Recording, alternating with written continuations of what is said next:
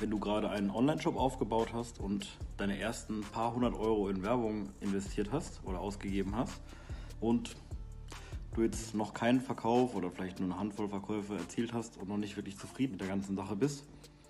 dann schau dich doch mal hier auf meinem Kanal um. Da spreche ich auch über solche Sachen, welche Faktoren alle erfüllt sein sollten oder auch müssten, beziehungsweise an welchen Stellschrauben du drehen solltest und musst,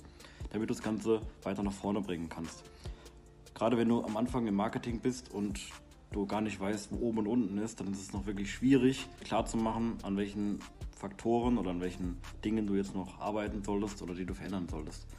Deswegen schau dich gerne mal hier um.